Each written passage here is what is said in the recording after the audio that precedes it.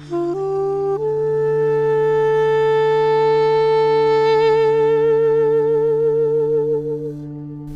old man Hassan Sabbah, also known as Lord of the Mountain, formed an elite secret society called the School of the Hashishi, or Assassins. A popular theory links the word hashish, which is a term for cannabis, to the word hashishin, implying that they were named after the hash that they allegedly consumed. Unlike alcohol, Islam did not prohibit cannabis. Another hypothesis for the name stems from assassin, which in Arabic means guardians, and some scholars have insisted that this is to be the true origin of the word assassin, guardians of the secrets. In Persia, or modern Iran, from the highest recesses, over 2,100 meters above sea level, of the thousand year old impenetrable mountain fortress of Alamut, meaning Eagle's Nest, Sabbah, the lord of the mountain, directed a covert brotherhood of fearless, hashish smoking warriors who were completely dedicated to his undisclosed cause, willing to carry out his every order, and if necessary, die for him willingly and without hesitation. Born in the Persian city of Qom in 1050s, Hassani Sabbah preached absolute devotion to a transcendental God. The family who raised him were from the Shia sect known as the Twelvers. The term Twelver refers to its adherents' belief in the 12 divinely ordained leaders, also known as the 12 Imams, and in the Mahdi, the guided one, who return as the redeemer of uh, Islam and who will rule the world. There's also a branch of Shia Islam whose adherents are known as the Seveners. So they differ from the Twelvers in the identity of their appointed spiritual successor, or Imam, who possesses special political authority over their community. Now, the Bektashi Sufi order shared the esoteric belief in the 12 Imams and was very influential and widespread in the Ottoman Empire. And having numerous lodges scattered throughout Anatolia, they kept their core beliefs secret from outsiders, from non initiated Muslims. And Hassani Sabbah was very well versed in the same uh, core inner alchemical secrets.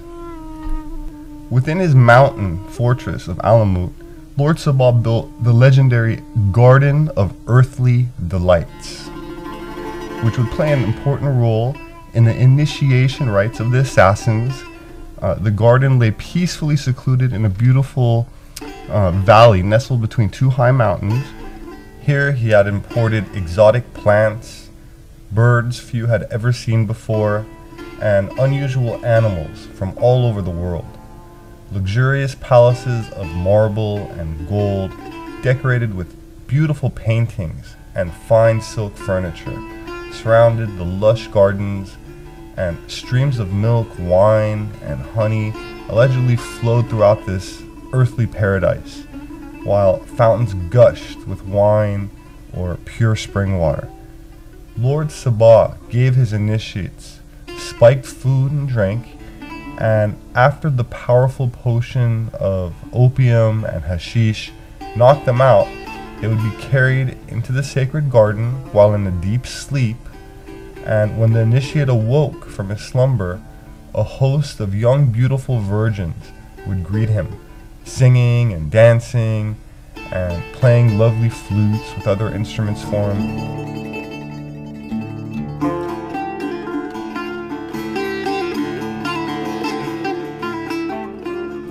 As Robert Anton Wilson describes it, and I quote, Welcome to paradise, they sang as the awakening initiate gazed about in wonder.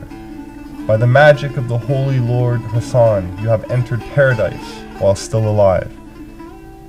And they fed him exotic imported paradise fruit, far sweeter and stranger than the local fruit he had known before. And they showed him the animals of paradise, imported from as far away as Japan in some cases creatures far more remarkable than those ordinarily seen in their local region. The initiate would be covertly fed more hashish and opium during the experience to ensure the maximum effect on his psyche. After this opium was introduced and began to flow into the bloodstream, the young candidate would sleep again. They would then be removed from the Garden of Delights and returned to the banquet hall of Lord Hassan. There they awoke, and after pledging their devotion, became one of the illuminated. This technique proved very effective. Hassan could demand absolute loyalty from his followers with no questions asked. Another version of this story comes to us from Marco Polo uh, from his visit to Alamut in 1273. And he says, and I quote, The old man kept at his court such boys of 12 years old as seemed to him destined to become courageous men. When the old man sent them into the garden in groups of four, ten, or twenty, he gave them hashish to drink. They slept, then they were carried sleeping into the garden where he had them awakened. When these young men awoke, they found themselves in the garden with all these marvelous things.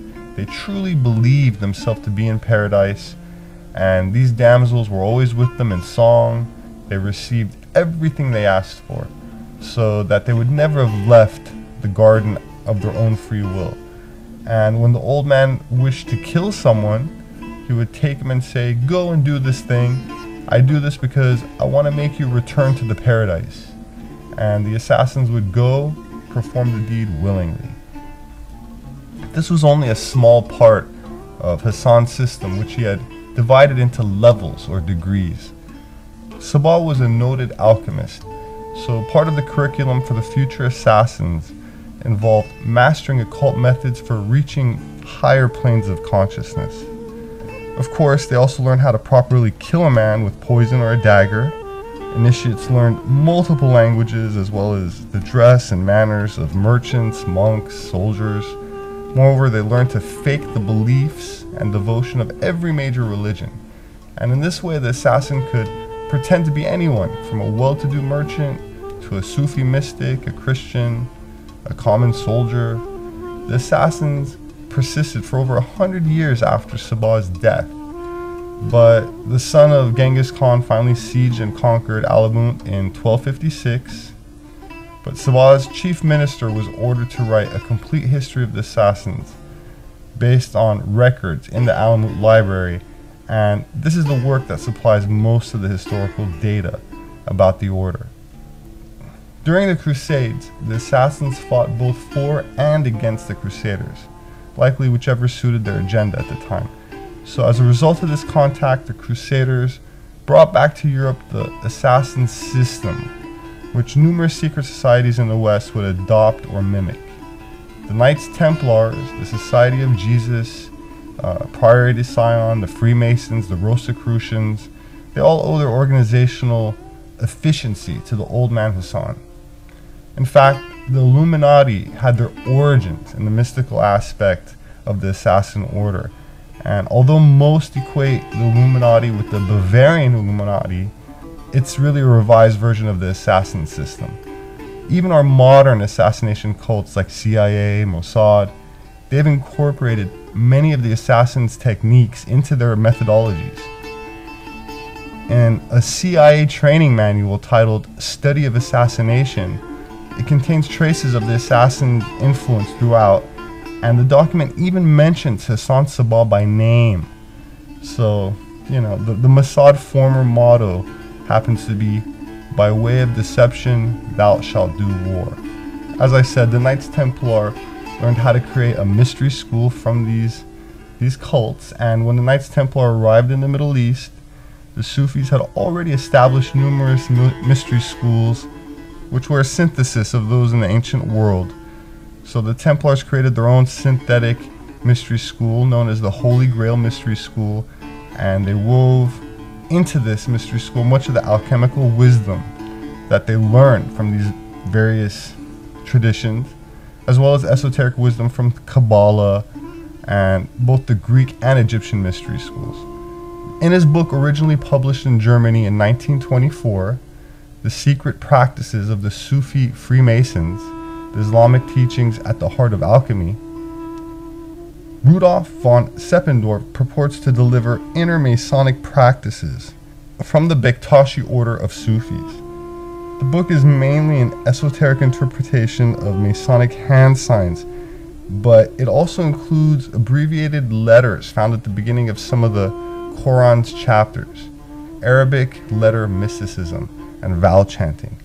And he claims that the basic idea of this sect is that there's secrets that are revealed in these words that are made up of sounds or letters with accompanying numerical values. And these are made manifest in the human body through certain exercises that he claims make up essential components at the heart of alchemy.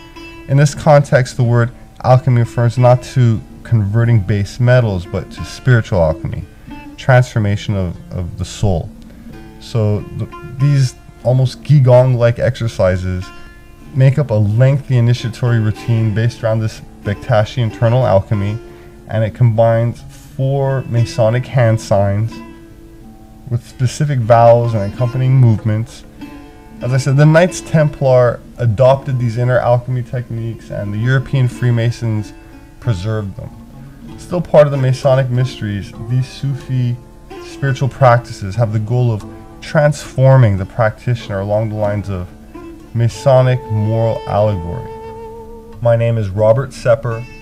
I'm an anthropologist and author, and I invite you to explore some suppressed mysteries with me in an attempt to unlock their riddles which have eluded any serious consideration in mainstream academia.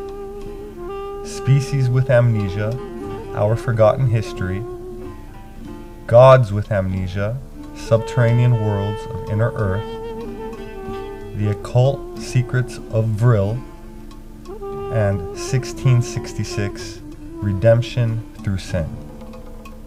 I appreciate all of the positive feedback, and I thank you very much for listening.